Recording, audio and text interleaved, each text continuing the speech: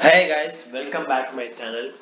If you're new to this channel, then make sure you hit the subscribe button below. Just one step away, you could get latest updates. And this is a serious update, guys. Yes, this is one of the very very serious update regarding Suzlon Energy Limited. What they have submitted is really very very uh, amazing, as well as uh, a bit of negativeness in this share right now because of this news, which may pull down the stock tomorrow or not. The reason why I'm saying because they have uh, put this information on SEBI and BSE now only guys. As you can see this is about the cash credit from the banks and financial institutions. This means how much the amount they have defaulted and how much amount of loan did they have in the company. So as you can see first the name of the listed entity Suzlon Energy Limited making of disclosure today is 7th January they are making disclosure today. And nature of obligations it is obligation means the loan in which type for working capital and non-based to fund working capital and term loans and standby letter of credit. So who is the lender?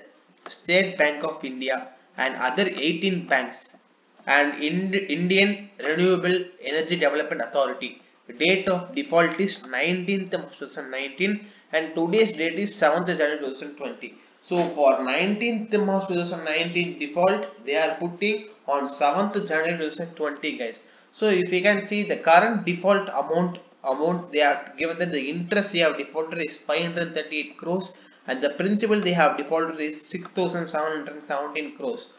So if we move down the details of obligations I mean the total loan they have borrowed from banks is fund based 8543 crores and uh, project specific they have borrowed 260 crores and term loan is 2435 crores. So if you see all three are secured guys so there is no problem regarding this loan.